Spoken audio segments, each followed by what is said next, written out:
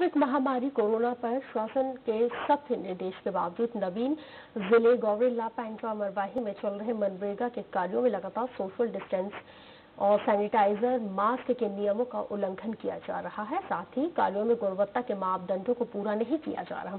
जिम्मेदार अधिकारियों को जानकारी होने के बावजूद अब तक कोई ठोस कदम नहीं उठाया गया। मामला पैंडवा विकासखंड के ग्राम लाटा में चल रहे स्टाफ डैम कार्य का बताया जाता है, जहाँ किसी नियम का पालन नहीं किया जा रहा है। न ही कार्यस्थल पर कोई अधिकारी कर्मचारी मौजूद है। दिए हैं ना। अब अब लोग अब रोज दिन कोई साफ़ करेंगे छोड़ के आ गए कोई और का अपना ये चीज़ सबको समझाया गया मजदूरों को भी अपना सुरक्षित रहने की मीटर दूर में रहना है। आप तो गाँव क्षेत्र के हैं अपना थोड़ा सा बात को ध्यान कम देते हैं।